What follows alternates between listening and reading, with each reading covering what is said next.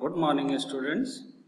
This is uh, chapter number 5 magnetism and matter. And today is the last lecture of this chapter. This is lecture number 8 hysteresis loop. Before going to the hysteresis loop, we should know how the Curie temperature or temperature affect the magnetization of a magnetic material right? So we have three magnetic substances dia para and ferro right? You know that diamagnetic substance always magnetize in opposite direction. For example this is the magnetic field between two poles of the magnet. This is north pole of one magnet and this is south pole of second magnet.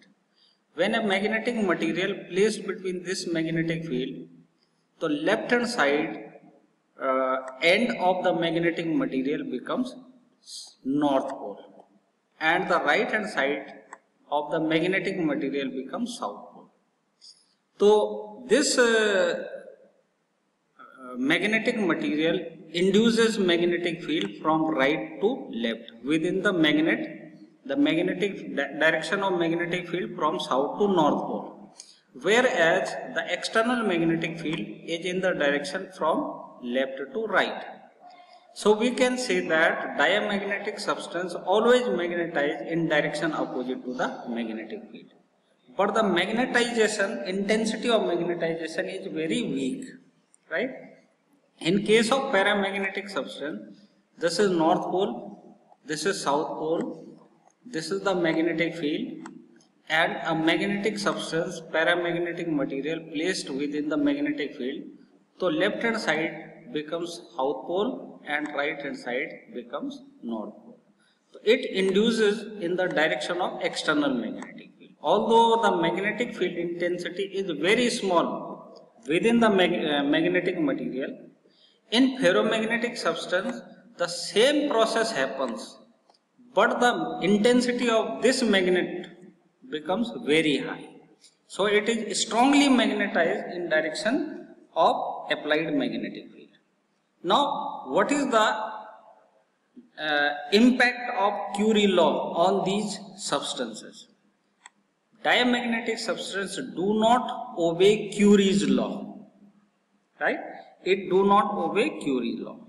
Reason is that in this uh, material, all the atoms having paired electrons, whereas paramagnetic substance always obey Curie law, since uh, some unpaired electrons are there. In ferromagnetic substance, they obey Curie law, right? The property do not change with the temperature. Since there is no effect of temperature on diamagnetic substances, it means it do not obey Curie law. Whereas in paramagnetic substances, some magnetic property becomes weaker in raising the temperature. That's why it obey the Curie law. And the ferromagnetic substance, it obey Curie law and at a certain temperature that is called Curie temperature or Curie point, they loses ferromagnetic property. Means अगर ferromagnetic substance का temperature बढ़ा दिया जाए तो उसकी जो magnetisation वो कम होती चली जाती है। और एक पर्टिकुलर टेम्परेचर पे आके वो फेरोमैग्नेटिज्म की जो प्रॉपर्टी है वो लूज कर जाता है और वो पैरामैग्नेटिक सब्सटेंस की तरह बिहेव करने लगता है। उस टेम्परेचर को कहा जाता है क्यूरी टेम्परेचर या उसको कहा जाता है क्यूरी पॉइंट। लेकिन इसको समझने से पहले समझना ये ज़रूरी है कि क्यूरी टेम्परेचर होता क्या तो क्यूरी लॉ पे चल रहे हम। मैग्नेटिक ससेप्टेबिलिटी, अब आपको पता है मैग्नेटिक ससेप्टेबिलिटी का मतलब होता है chi M equal to I by H ठीक है? आई का मतलब हो गया मैग्नेटिक इंटेंसिटी और सॉरी आई का मतलब हो गया इंटेंसिटी ऑफ़ मैग्नेटाइजेशन और एच का मतलब हो गया मैग्नेटिक इंटेंसिटी ठीक? I is the property of magnetic material whereas H is the magnetic intensity of external magnetic यानी इसको हम कहते हैं आउटपुट इसे कहते हैं इनपुट आपने कितना फ़ील्ड अप्लाई किया और मैग्नेटिक मटेरियल कितना मैग्नेटाइज हुआ, ये दोनों का रेशियो हो गया आई बाई एच इसे कहा जाता है काई अब देखिए अगर आई की वैल्यू ज़्यादा होगी तो काई एम भी ज़्यादा होगा। जैसे फेरोमैग्नेटिक सब्सटेंस ये हाईली मैग्नेटाइज हो जाते हैं, यानी आई बहुत बड़ा हो जाता है तो काई एम की वैल्यू बहुत बड़ी हो गई और पॉजिटिव हो गई क्योंकि सेम डायरेक्शन में होता है। पैरा की अगर बात करें तो काई एम की वैल्यू स्लाइट पॉजिटिव होती है।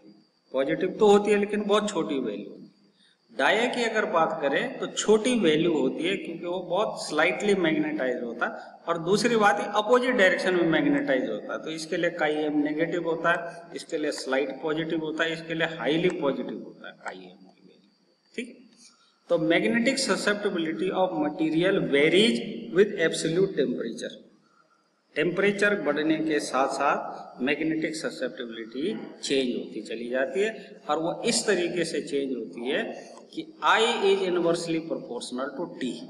यानी टेम्परेचर बढ़ेगा तो I की वैल्यू कम होती चली जाती है। और I की वैल्यू कम होने का मतलब हो गया काई एम की वैल्यू भी कम हो जाना। ठीक है? तो हम ये कह सकते हैं कि chi M is inversely proportional to temperature ठीक है?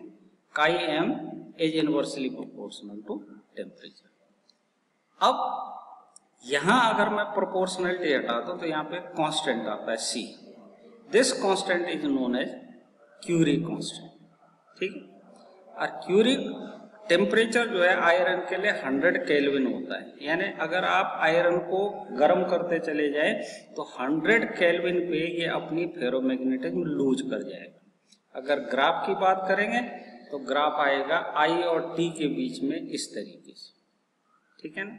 जैसे जैसे आपने टेम्परेचर बढ़ाया तो इसकी वैल्यू कम हो गई तो आई की वैल्यू भी क्या होने लगी? कम होने लगी।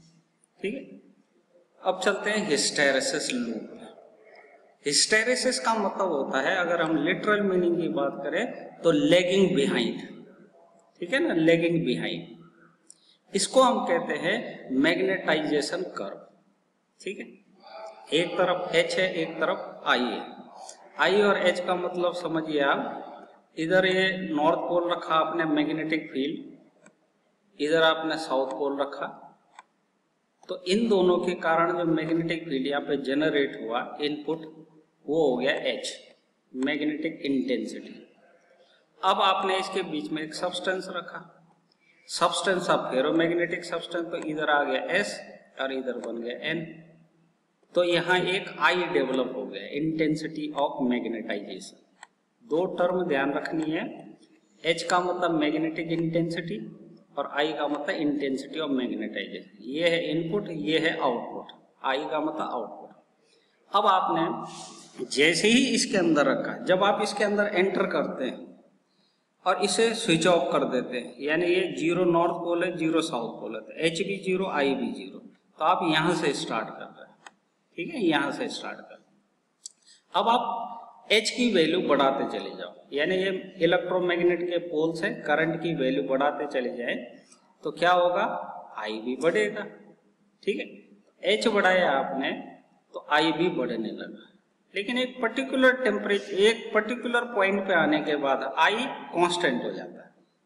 अब अगर आप एच को कम करते हैं और ज़ीरो कर देते हैं तो आई ज़ीरो नहीं हो पाता, बल्कि आई कुछ ना कुछ रह जाता है, इतनी वैल्यू आई की रह जाती है, ठीक?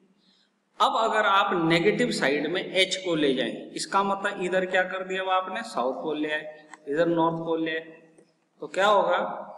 आप अगर एच को नेगेटिव डायरेक्शन में रखते हैं तो आई ज़ीरो हो जाएगा।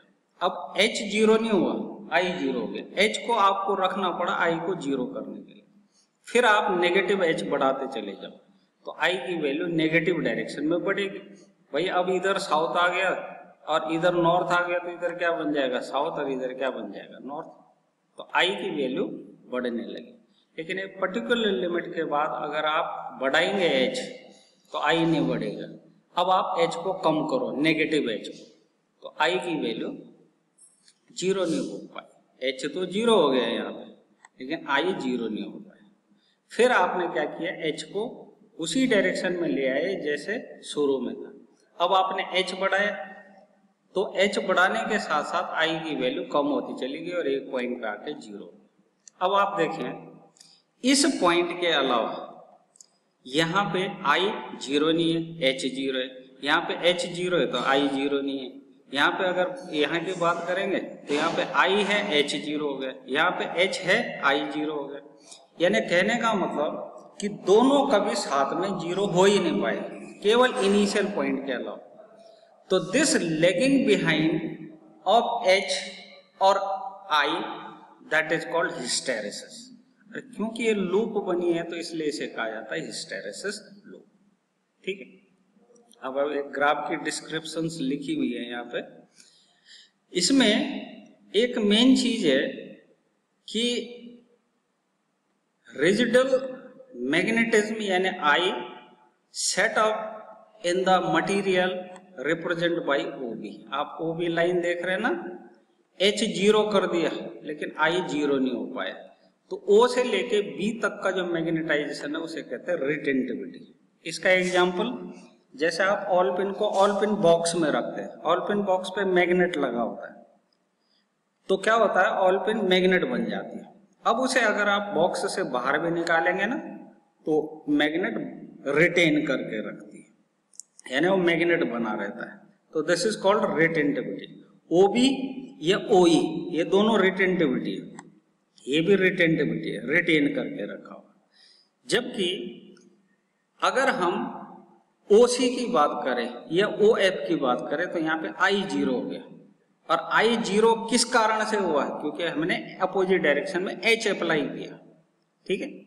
तो this H which makes the I zero that is called coercivity तो इसको ओ सी या ओ एफ़ को हम कहते हैं कोयरसिविटी ठीक है? ये दो टर्म इंपॉर्टेंट है. रिटेंटिविटी यानी रिटेनिंग ऑफ़ आई कोयरसिबिलिटी इसका मतलब the value of H required to make I zero ठीक है? इस तरीके से आप इस लूप को कहते हैं हिस्टेरेसिस लूप क्योंकि कोई ना कोई पीछे छूट जा रही है। ठीक है? अब मेन चीज़ ये है कि लूप का एरिया जितना बड़ा होगा, इसका मतलब उसको मैग्नेट बनाने में उतनी ज़्यादा एनर्जी का लॉस हुआ होगा। ठीक है? अगर एरिया ऑफ़ द लूप ज़्यादा हुआ तो इसका मतलब उसको मैग्नेट बनाने में ज़्यादा एनर्जी कंज्यूम हुई। अब वो एनर्जी कहाँ चली गई? उसके अंदर मैग्नेटिक एनर्जी की फॉर्म तो जितना बड़ा एरिया होगा, उसका मतलब उतना बड़ा मैग्नेट बना है। ठीक है? अब हम आयरन की बात करें। तो जो सॉफ्ट आयरन होता है, उसका एरिया बहुत कम होता है। इसका मतलब सॉफ्ट आयरन एक छोटा मैग्नेट होता है। उसे आप आराम से डिमैग्नेटाइज कर सकते तो इसका मतलब क्योंकि उसका एरिया कम है, उसकी एनर्जी कम है तो उसे कहते हैं टेम्परेरी मैग्नेट लेकिन अगर मैं स्टील की बात करूँ तो स्टील का एरिया बहुत ज़्यादा होता है। इसका मतलब आप उसको अगर एक बार मैग्नेट बना देंगे तो क्या हो जाएगा? परमानेंट मैग्नेट बन जाएगा। ठीक है ना? अब ये लूप का एनिमेशन दिखाया गया कई, किसी का एरिया बड़ा है, किसी का एरिया अब जैसे ये एरिया बहुत कम है, अब ये बहुत बड़ा हो गया। तो जो बड़ा एरिया है, वो स्टील का है, जो कम एरिया है, वो सॉफ्ट आयरन ठीक है? This is the application of hysteresis लो इस तरीके से चैप्टर नंबर फाइव आपका कंप्लीट होता है। कल से हम फिर chapter number six electromagnetic induction को शुरू करेंगे।